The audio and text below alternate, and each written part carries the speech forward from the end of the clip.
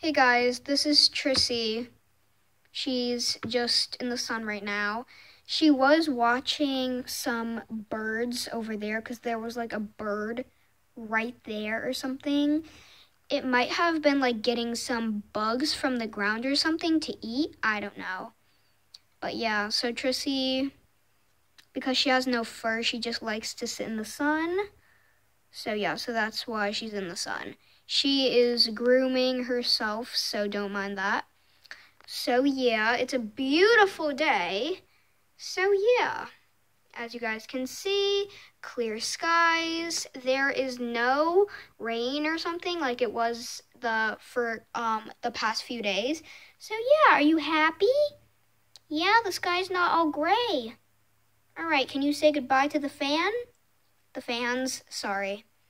All right. Bye, guys.